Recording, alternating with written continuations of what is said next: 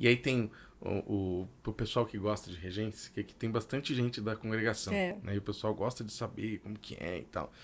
Então fala pra gente algumas coisas aí, assim, quando quer mais forte, quando quer. Então tem algumas coisas, né? De movimento de punho, de braço, o que que é? Uhum. Explica pro pessoal, assim, mais ou menos algumas coisas desse tipo. Tá. Quando a dinâmica é forte, gesto grande. É piano, gesto pequeno. Gesto pequeno. A orquestra não tá prestando atenção em você, você diminui o gesto. Pra, Pra chamar a pra chamar a atenção. E Você, torce pra eles querem. pra você realmente ser necessário ali. Porque às vezes naquela coisa, não, eles não estão fazendo o que eu quero, eu vou aumentar o gesto, aí o negócio vai ficando mais pra trás, assim, né? Porque quando o gesto grande dá uma, dá uma atrasada, né? Então você vai trazendo o gesto. Braço, pulso, depende do, do que você quer. Por exemplo, uma coisa é, legato, você faz uma, um Mais movimento redondo. mais redondo. Uma coisa mais staccato, você faz uma coisa bem curtinha. E o movimento de punho e de braço, quando é a diferença, assim? Tem alguma coisa? É, você vai o que, a, o que a música pede, né? Você tem que ter esse bom senso.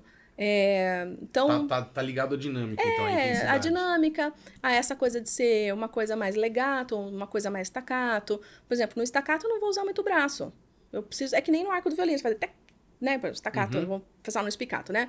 É tec, tec, tec, tec, né? Então é, você pensa que é batuta, só batendo um pontinho assim. Agora o legato é um pincel, você vai precisar de mais mais Entendi. braço, né?